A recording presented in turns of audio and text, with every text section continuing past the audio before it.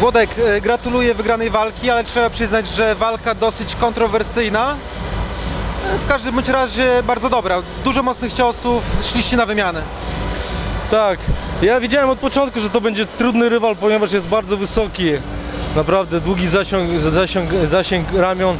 No jest bardzo niewygodny, naprawdę. Cały czas tą przednią nogą nadeptywał mnie na moją przednią i nie dawał mi zejść trochę, żeby skontrować go czy coś takiego. No i naprawdę jest niewygodny.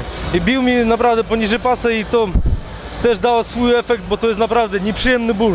No właśnie, miałem się spytać o te ciosy poniżej pasa. Ja przyznam szczerze, że z perspektywy trybun nie wszystkie te ciosy były poniżej pasa. Może to, nie wiem, ja to odczułem, tak to powiem. Włodek, bardzo po- powiedziałbym taka ciężka walka. Byłeś przygotowany na takie wymiany, bo trzeba powiedzieć, że z jednej i z drugiej strony tam szły iskry wręcz.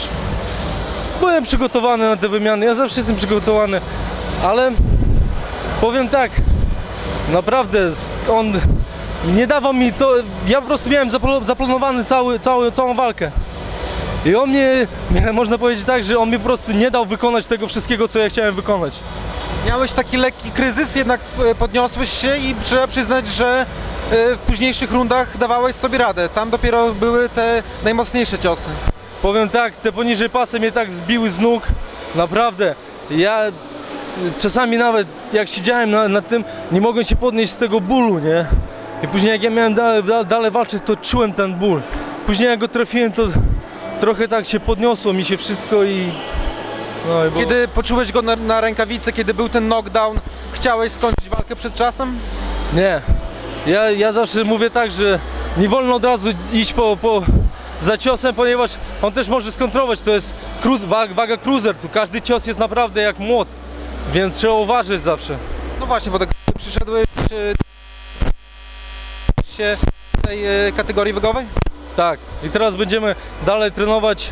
Teraz chcę zaleczyć swój, swoją kontuzję barku. No i będziemy dalej trenować i zobaczymy jak to będzie. Myślałeś o tym, żeby przejść nawet do półciężkiej? No, przeciwnik dzisiaj duż, dużo wyższy od Ciebie. Wiem. I właśnie teraz będziemy pod to trenować. Nogi, najważniejsze nogi teraz. Chcę ba- bardzo mocno wzmocnić nogi i żeby się ruszać jak kiedyś się ruszałem.